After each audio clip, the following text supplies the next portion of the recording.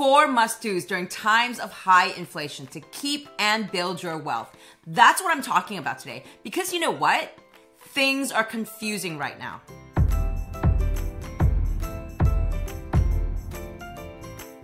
So, hyperinflation is likely not coming. And inflation is not good for anyone except the government. And even then, you could discuss whether it's really that good for the government in the long run. But all that doesn't matter. What matters now is that you don't panic and focus on what's important. And what's important is what you and I, what we should be doing during these inflationary times with our money. Should we be investing? Should we be saving? Or should we be spending every single dollar we make? So let's dive into these four must do's during times of high inflation. Invest your extra cash. For example, if you got a bonus, a tax refund, or just sold your house, like the clients and friends who inspired the making of this video. Or maybe you're just simply saving more money. Whatever you do, don't leave this excess cash sitting in your bank account because with inflation where it is, you're literally losing money every day. And this right here explains why you should be investing any extra dollars you don't need right now. This table basically shows that for every major market crash since the Great Depression of 1929, your average annual rate of return from investing in the S&P 500 would have beat the average annual inflation rate in every instance if you had stayed invested in the market for the two and a half decades after that crash. So if you were invested in the market long term. As you can see with the Great Depression, I even started the analysis in 1928 to be conservative. Meaning, I assumed you were already in the market, that you didn't buy everything at rock bottom prices, because really, no one can time the market. Even with the Great Depression and World War II, you would still have beat inflation if you were invested in the market long term. 1979 was the period when the Federal Reserve Bank, the Fed, raised their Fed funds rate to 20% to combat inflation rates north of 11%. You can imagine that raising rates to 20% pretty much destroyed the housing market and the economy as well. But again, you would have beat inflation this time too if you were invested in the market long term. The years after 1999 were plagued by not one, but three massive market downturns the dot com bubble burst, the housing market blowup, known also as the Great Recession, and COVID. And as of this taping, even though we haven't hit the 25 years post 1999 yet, you would still have beat inflation again by a good margin if you were invested in the market long term. As we always say in the industry, Past performance is not indicative of future returns, but this is a lot of catastrophes and market data points to work with. And what the data points show is that you can fight inflation by staying invested in the market if you have the extra cash and if you have the mindset and staying power to build long term sustainable wealth. Because what happens during inflationary periods? Yes, you pay higher prices, but who gets those higher prices? Who benefits? Well, primarily the government, who now gets higher taxes from the higher prices. But some companies will benefit as well, including the companies in the S&P 500. And at some point, when things settle down and come to an equilibrium, as they always do, these companies get to keep some of these higher prices. They essentially make more money as supply chain or whatever economic issue of the day subsides, which in turn boosts stock prices and the market as a whole. As you can see here from the last time inflation was around where it is now, the Fed stepped in around 1979 when inflation was about to peak. These two years, when the S&P did not beat inflation, was when the Fed raised their rates to 20% to bring inflation down. And what happened the two years after the Fed tamed inflation with killer interest rates?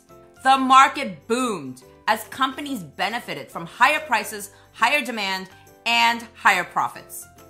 So as I've just shown you, the S&P 500 has consistently beat inflation time and time again, if only given enough time to recover.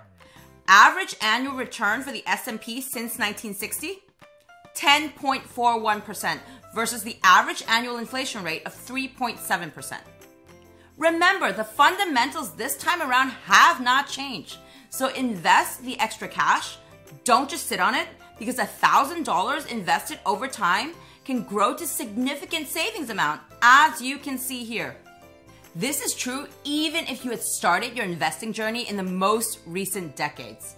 Despite the 2001 dot com bubble burst, the 2008 Great Recession, and the 2020 pandemic, you would have beat inflation by staying steadily invested in the market for the long haul. We'll keep tracking these numbers given that it's still ongoing and report back in regular intervals. For those of you wondering, what do I do if I'm retiring soon or already in retirement?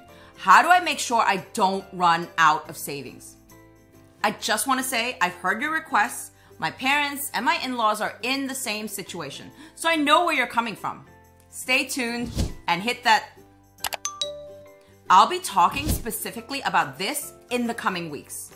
Or you can drop me a note at jennifer at diamondnestegg.com if you'd like to chat sooner about one on one guidance on how to inflation proof your finances. Invest in regular intervals, say with every paycheck, for example. And if you're already doing that, then keep doing more of the same. Don't try to time the market and go all in at a sell off. I've been repeating this a lot lately, in particular to clients and friends who've come into some extra cash for various purposes. And I'm going to tell you the same thing.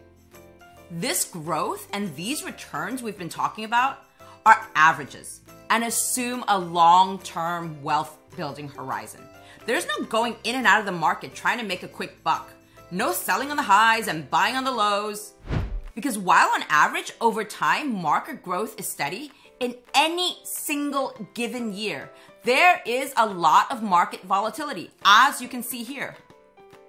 And that's why you don't try to time the market. I mean, how do you know whether you're buying here or here? The answer is you don't. Here's a recent study from JP Morgan showing what $10,000 invested at the beginning of 1999 would look like by the end of 2018. So, over a 20 year period. If you had stayed fully invested for those 20 years, you would have nearly tripled your money. That original $10,000 would have grown to nearly $30,000. If, on the other hand, you missed the 10 best days of the market, your portfolio would have halved, going from about 30,000 to just under $15,000.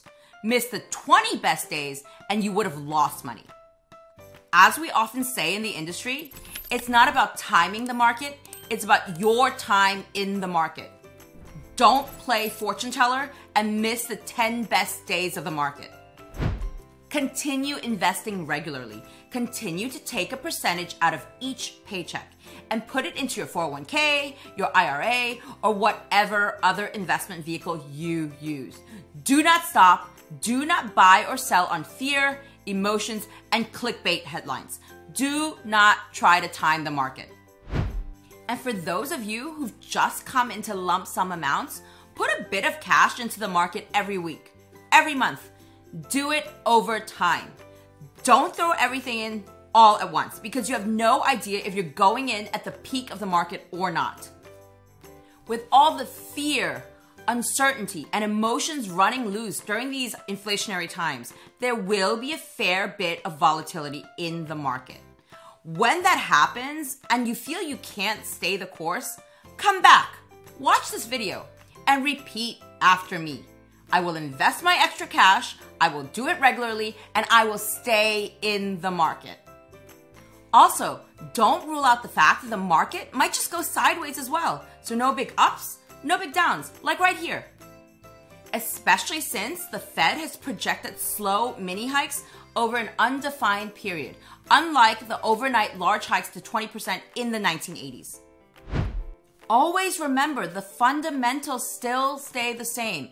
Keep investing, don't panic sell, don't stress sell, and don't miss the best days of the S&P 500 because inflation is going to be here for a while and keeping your extra cash invested in the market is the only way to beat inflation in the long run.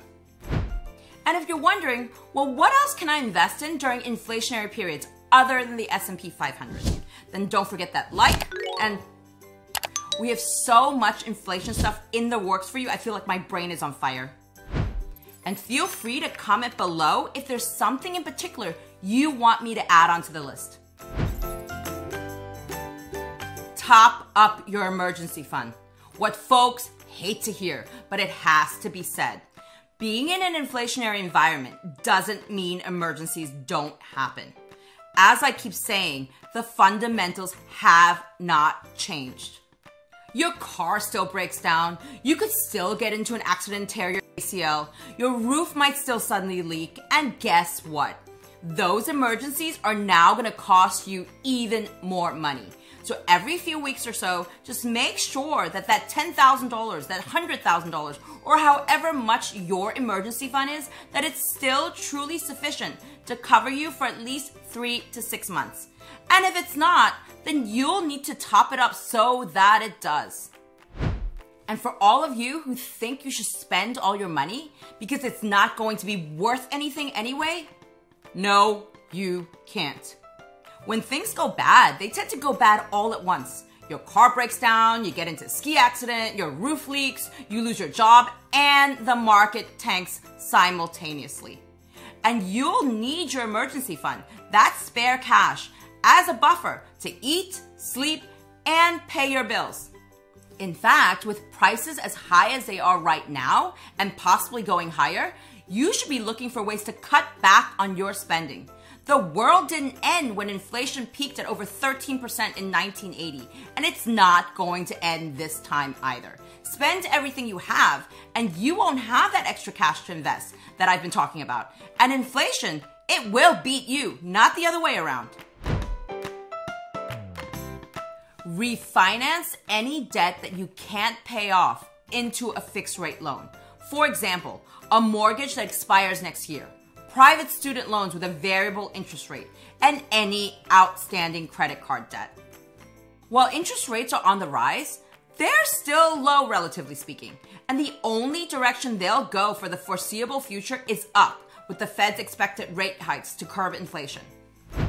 And when interest rates go up further, the monthly payments on that variable rate debt or any debt for that matter that you might need to refinance next year or the year after, those monthly payments could kill you and your wealth building journey.